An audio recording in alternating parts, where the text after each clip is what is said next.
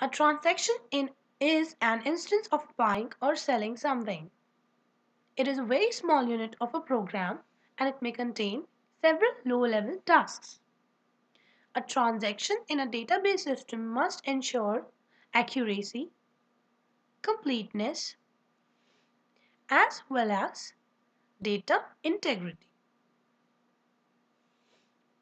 In case you're watching the video at our channel for the first time, I am Keith and I welcome all of you to the Tute Therapy.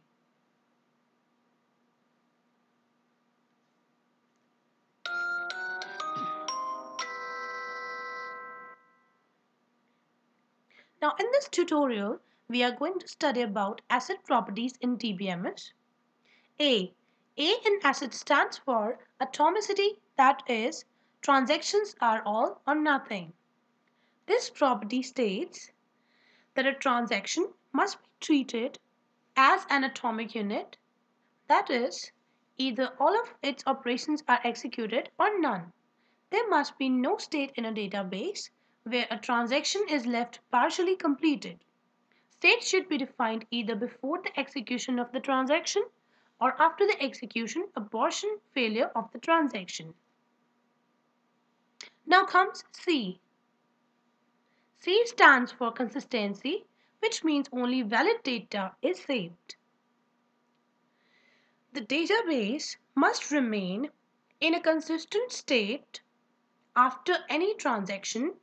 No transaction should have any adverse effect on the data residing in the database.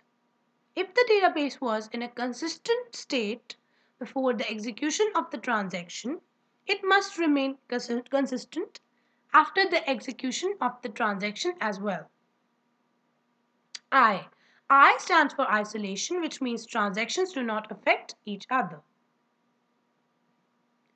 It ensures that the transactions are securely and independently processed at the same time without interference but it does not ensure the order of the transactions.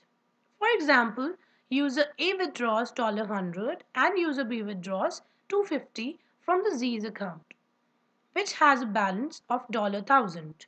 Since both A and B withdraws from Z's account, one of the users is required to wait until the other user transaction is completed, avoiding inconsistent data.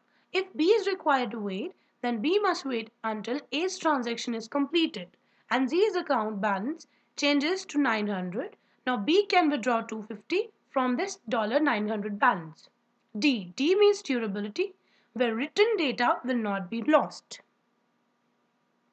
In the above example, user B withdraws $100 only after user A's transaction is completed and is updated in the database.